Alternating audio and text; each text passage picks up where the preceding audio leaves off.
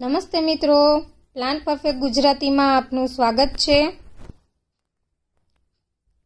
આજે આપણે જોઈશું ટેંગલ હર્ટ પ્લાન્ટ વિશે, તેની રોપણી કઈ રીતે કરવી અને માવજત કઈ રીતે કરી શકાય, તેનો વિગતવાર માહિતી આ વિડીયોમાં. ગાર્ડનિંગ શરૂ કરનાર માટે આ બેસ્ટ પ્લાન્ટ છે.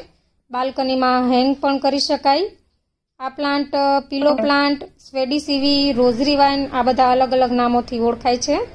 પ્લાન્ટમાંથી હોટ શેપના નાના નાના પર્ણ નીકળે છે અને તે ઝડપથી વૃદ્ધિ પામતું એક વેલ ટાઈપનો સકલન્ટ છે.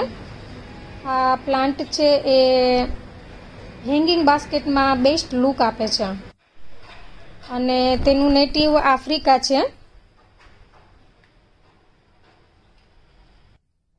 હું નજીકની નર્સરીમાંથી આશરે પચાસ રૂપિયાનો પ્લાન્ટ લાવી હતી અને તેના રીતે હેંગિંગ બાસ્કેટમાં રોપ્યો છે. આ પ્લાન્ટના મૂળ છીછરા એટલે કે ઉપર છલા ગોઠવાયેલા હોય છે.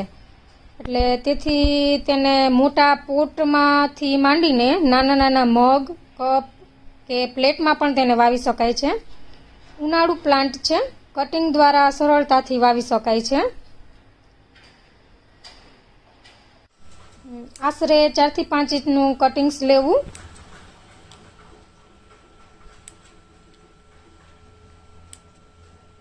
અલગ અલગ કટિંગ્સ લીધા છે. પોટિંગ મિક્સ તરીકે ગાર્ડન સોઇલ લીધી છે. ચાલીસ ટકા જેટલી કોઈ પણ ગાર્ડન સોઇલ લઈ શકાય. ત્યારબાદ, વીસ ટકા જેટલું કમ્પોસ્ટ એટલે કે ગોબર અથવા તો વર્મી કમ્પોસ્ટ લઈ શકાય. ત્યારબાદ વીસ ટકા જેટલું કોકોપીટ લઈ શકાય. અને વીસ ટકા જેટલી રેતી લઈ શકાય. ત્યારબાદ પચાસ ગ્રામ જેટલો નીમ કેક પાવડર લઈ શકાય. જો તમારી પાસે નીમ કેક પાવડર ન હોય, તો એક ચમચી ઘરમાં રસોડામાં વપરાતી હળદર પણ લઈ શકો છો.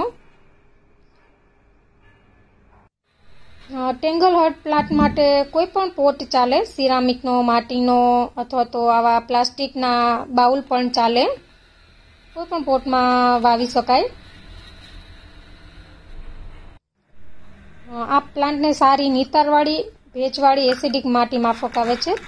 અહીં પોટિંગ મિક્સને સ્પ્રે વડે થોડી ભીની કરી લેવી. ત્યારબાદ તેને, તેમાં પેન વડે નાના નાના હોલ કરી લેવા.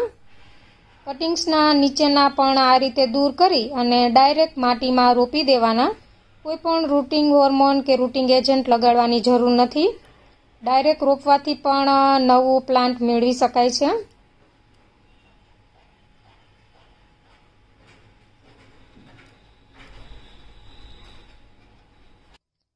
રોપ્યા બાદ આ પોટને ઉજળો પ્રકાશ મળે તેવી રીતે રાખવું અને એક દિવસના અંતરે પાણીનો સ્પ્રે કરવો.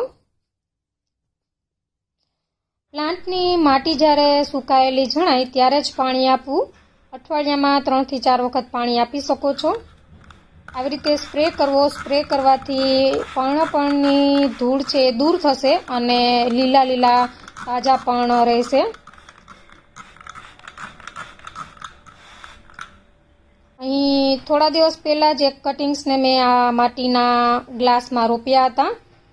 અત્યારે સરસ રીતે ઉગી ગયા છે. આશરે અઠવાડિયા જેટલો સમય થયો છે.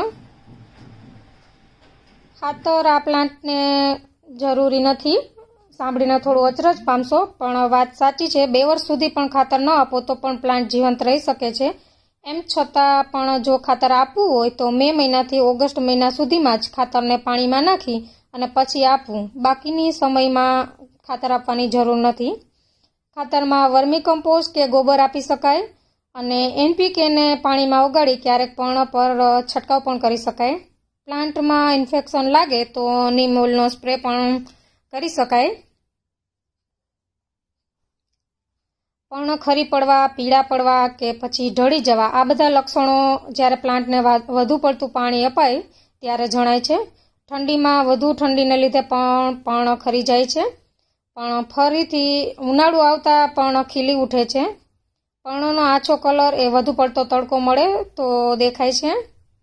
પ્લાન્ટને સીધો સૂર્યપ્રકાશ કરતાં આછો પાતળો સૂર્યપ્રકાશ મળે અથવા તો છાંયડો મળે તો તે વધુ વૃદ્ધિ પામે છે. સાઉથ અને વેસ્ટ ઓપનિંગ બારી હોય તો ઘરની અંદર પણ રાખી શકો છો. પણ ઉજળો પ્રકાશ જરૂરી છે. પંદરથી પચીસ ડિગ્રી જેટલું તાપમાન વધુ અનુકૂળ આવે છે. અહીં અત્યારે પ્લાસ્ટિકના બાઉલમાં પણ કટિંગ્સ વાવ્યા છે. બાઉલમાં નીચે ડ્રેનેજ હોલ કરી લીધા અને પછી માટી ભરી અને કટિંગ્સ તેમાં રોપ્યા છે. આ રીતે કોઈ પણ નાના પોટમાં વાવી અને ડેકોરેટિવ વસ્તુની અંદર રાખી તમે ઘરની અંદર ડેકોરેટિવ પર્પઝથી પણ પ્લાન્ટને રાખી શકો છો.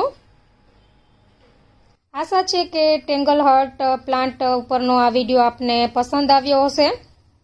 Thank you.